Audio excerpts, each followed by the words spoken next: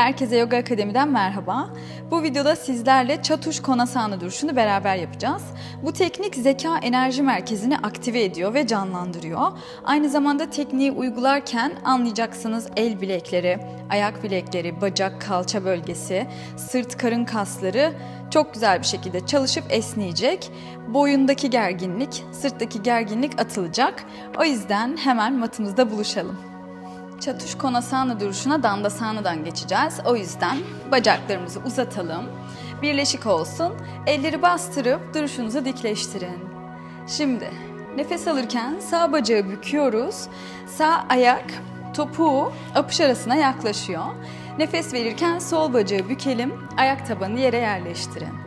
Nefes alırken sol kolu içeriye alacağız ve sol bacağın altından geçirip Bacağı maksimum yukarı doğru kaldırın, omzun üzerine doğru yerleştirin. Nefes verirken sol kol yukarı, sağ kol geride, elleri başın arkasında kenetliyoruz. Duruştayız. Gözleri kapa, duruşun tadını çıkar.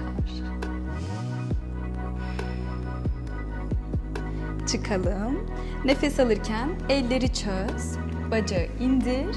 Nefes verirken kolu çıkaralım, bacakları uzatalım.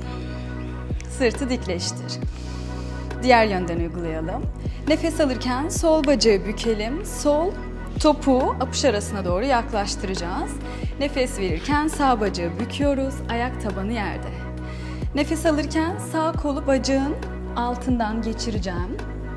Bacağı olabildiğince yukarı yükseltip omzun gerisine doğru bacağı yerleştirin. Nefes verirken sağ kol yukarı, sol kol arkada, elleri başın arkasında kenetliyoruz. Duruştayız, gözleri kapa. Derin bir nefes al. Çıkarken nefes al, elleri çöz, bacağı indir, nefes verirken kolu çıkar, bacakları uzatıyoruz. Derin nefes al. Verirken gevşe.